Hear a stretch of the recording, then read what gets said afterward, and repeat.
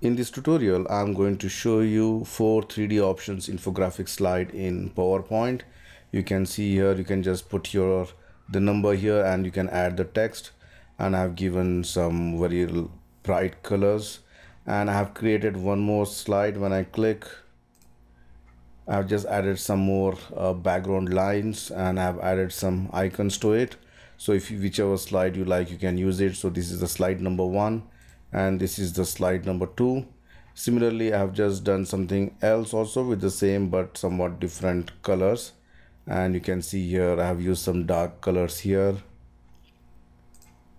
And this is without icons. So there are four slides for you. So let's see how to do this in PowerPoint. Add a new slide and change the background to gradient fill. Go to insert shapes under rectangles, select rectangle, draw a small rectangle, maybe this much size, shape outline, make it no outline. And for temporary purpose, I'm just going to give some dark gray color.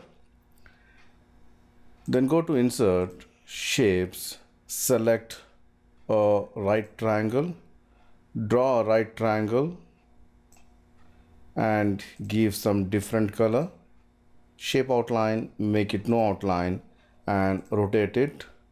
Rotate just say flip vertical. And I'm going to press ctrl D to duplicate this uh, this particular shape and keep it aside.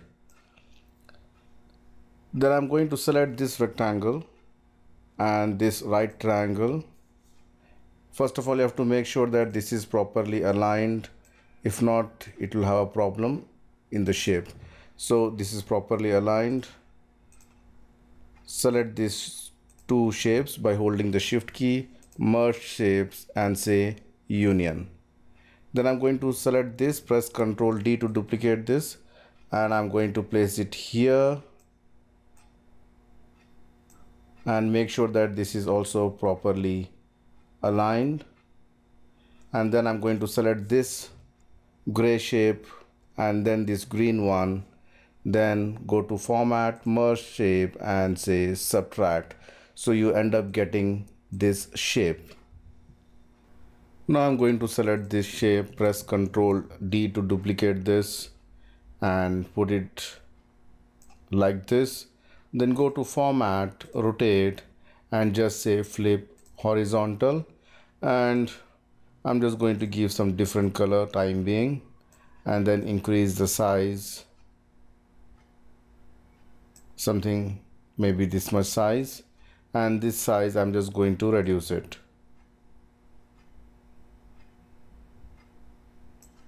I think this is enough. Then I'm going to insert shapes. I'm going to select one more uh, rectangle. Draw a rectangle maybe this much size and give some different color.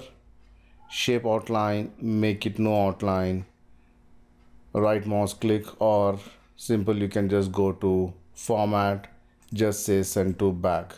So you can see here we have got this shape. Then I'm going to select each one and give some a different gradient fill to it now to give the gradient color i'm just going to uh, give select this particular object. Right mouse click go to format shape and select gradient fill. I'm going to select the type which is a linear and i'm going to give some darker color to it. Go to more options or more colors.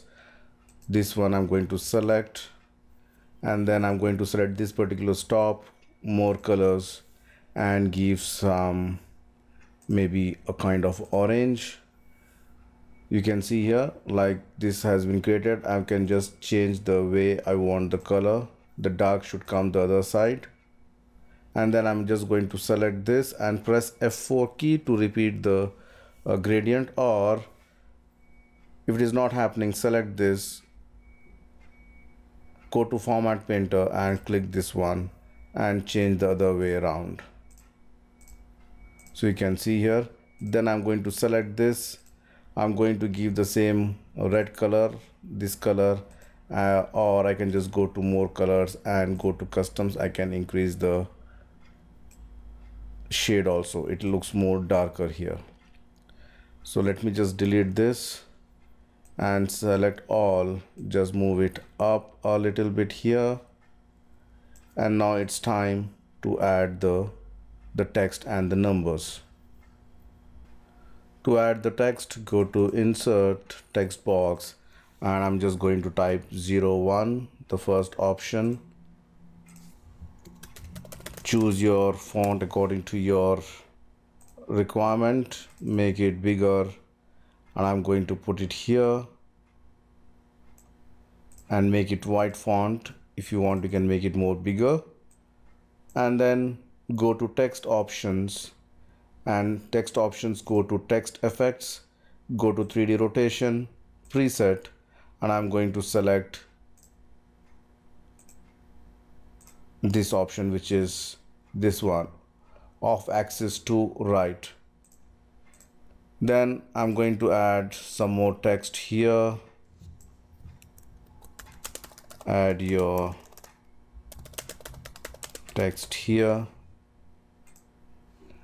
again change the font to your font of your choice. Reduce the size. Or if you want you can just rotate a little bit like this and you can add your text here.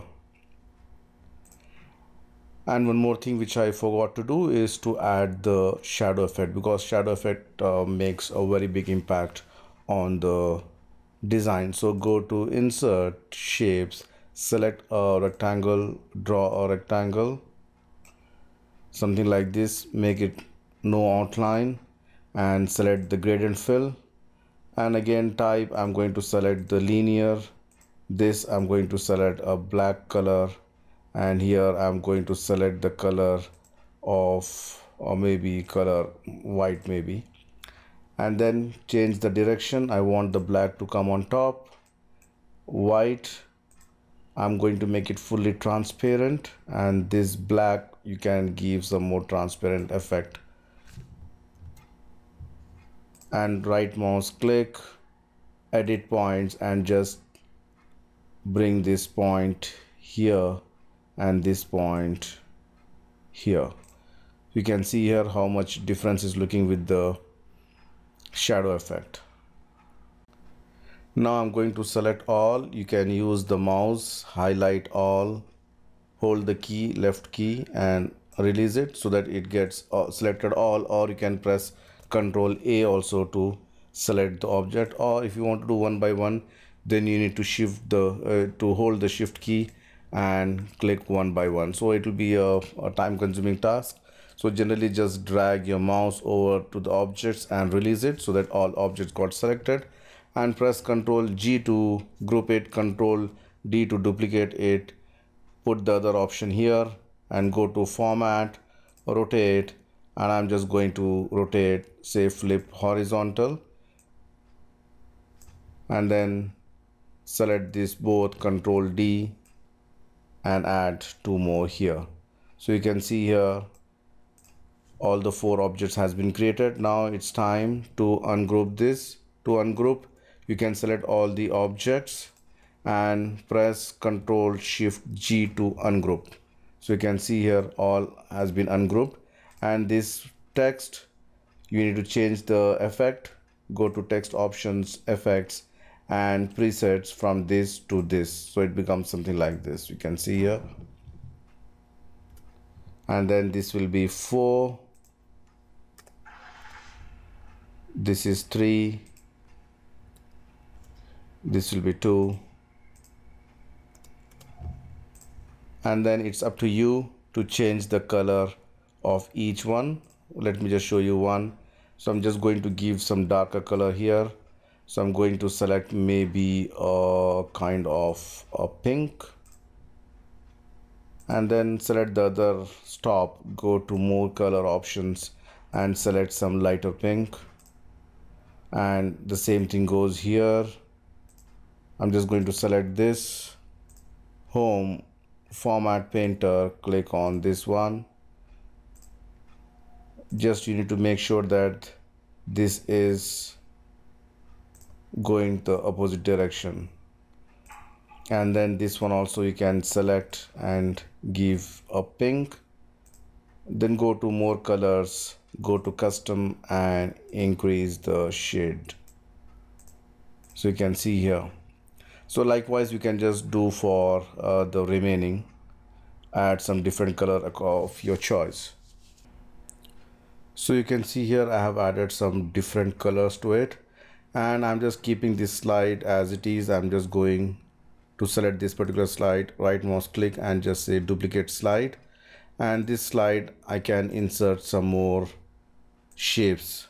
So I'm just going to select a rectangle draw a rectangle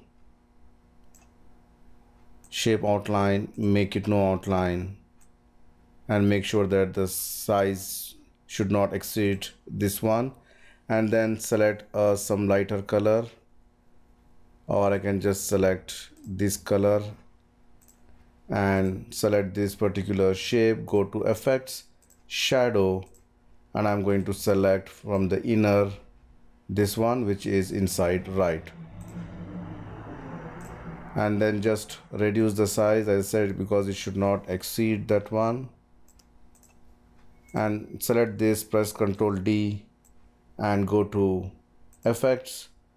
Shadow effect make it the other side. And then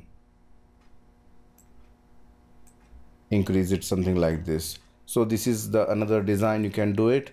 And if you have the icons you can add the icon so let me just add one by one now. Control D. Select this increase the size. Change the color using the eyedropper.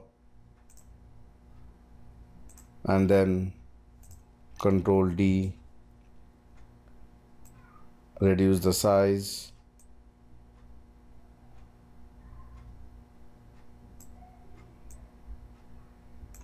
and then give the same color. So you can see here it entirely gives a different uh, design now. So just copy and paste control D just put it here. And again change the color with the eyedropper.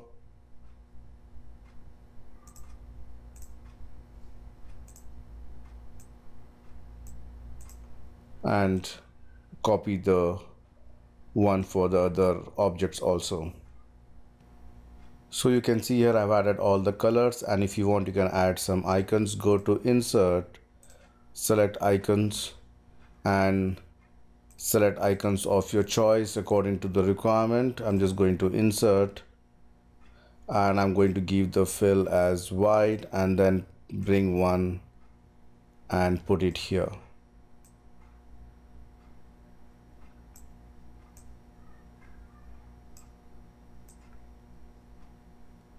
so you can see here this is the slide number two and this is the slide number one. So whichever you want or you like you can use it